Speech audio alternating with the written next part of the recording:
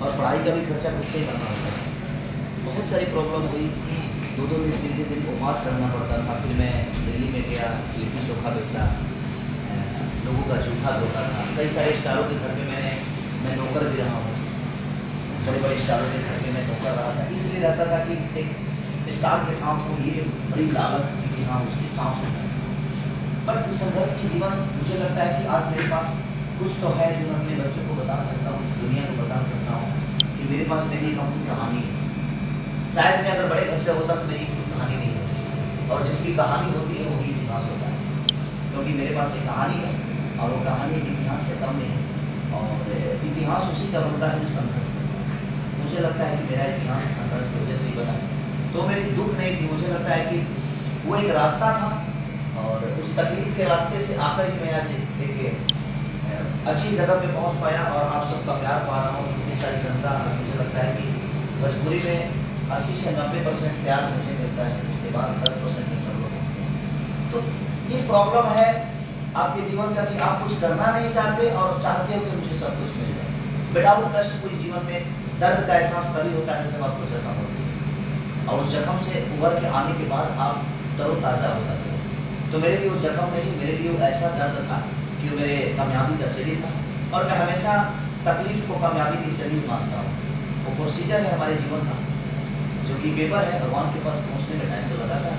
तो अंतर इतना है कि प्रधानमंत्री के पास एक पेपर पहुँचाना हो तो बहुत सारे टेबल पर गुजरती है तब जाके आपका फ़ाइल क्लियर होता है। वैसे ही जीवन का एक पेपर है। कई सारी जगहों पर जाता है। आप अगर हर जगह वो बढ़ते जाते हो, बढ़ते जाते हो तो अंत काल में कहीं ना कहीं ईश्वर के पास पहुँचता है और आपको एक अपनी मुकाम मिलता है। गाँव से निकला हुआ एक लड़का आज पूरे विश्व में विख्यात है। वो कौन सा सॉन्ग है जिसमें आपके जीवन को एक नई पहचान दी? उसको गाकर बोल है। एक होता मैं बताऊँ मैं मेरे जीवन में मैंने कम से कम पाँच हज़ार गाने गाए। और पाँच हज़ार गाने में कम से कम मुझे लगता है कि अढ़ाई हज़ार अढ़ाई हज़ार गाने तो सुपर हिट होंगे। सिनेमा अगर मैंने 75 के आसपास किया उसमें से दस फ्लॉप होंगे तो बाकी के सारे हिट तो कहीं ना कहीं चीज़ें होती है तो कितना गाँव गम है। बस एक मेरा गाना था बहुत बड़ा अभी दो साल पहले ही रिलीज़ हुआ था, ठीक है शायद आपने भी सुना तो उससे पहले मेरे जीवन की शुरुआत थी अशोलगर में शादी रचा में गाना गाया उसके बाद के अब की के सैया यारब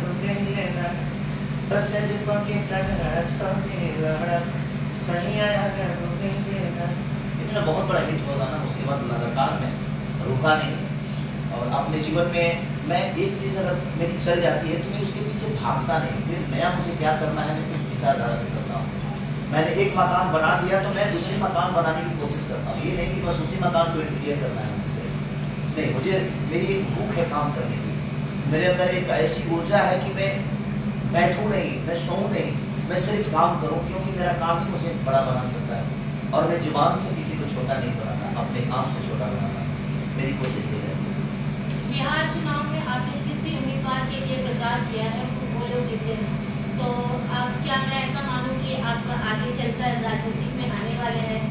देखिए बिहार चुनाव में मैं जहाँ गया उन लोगों को विजय मिली है और बहुत अच्छे ढंग से मिली है। तो मेरा कहने का मतलब है कि उनका अपना भी पब्लिक है और ये लोगों का प्यार है वो मेरी जीत नहीं है।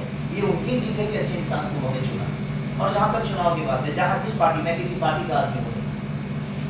मेरा विचारधारा जिससे मिलता है और जिसके विचारधारा में मैं आता हूँ मुझे लगता है वही मेरे लिए सब कुछ है।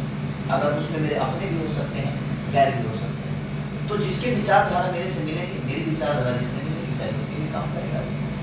आपने बीजेपी की ओर से प्रचार किया था तो बंगाल में अगर हम ऐसा माने कि क्या आप टीएमसी की ओर से प्रचार करेंगे तो क्या मेरा मानना सही है?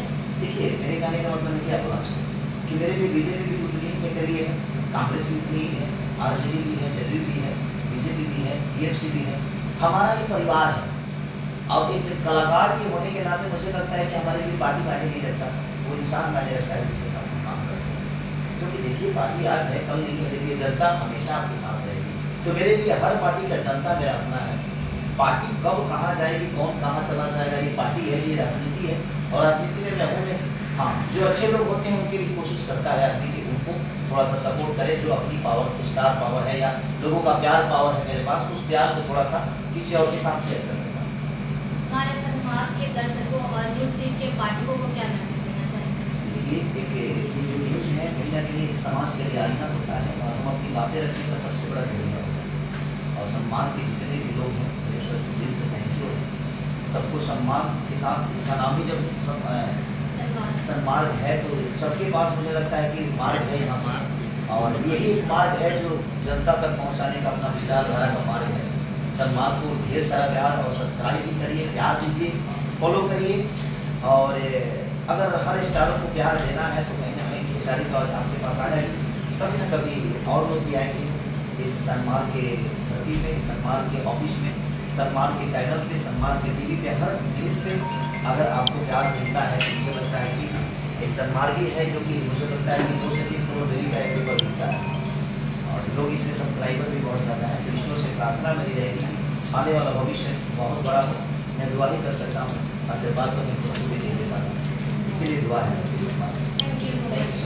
हमने बात की सारे लाल यादव से जिन्होंने अपने संघर्ष और अपने जीवन की जीवन की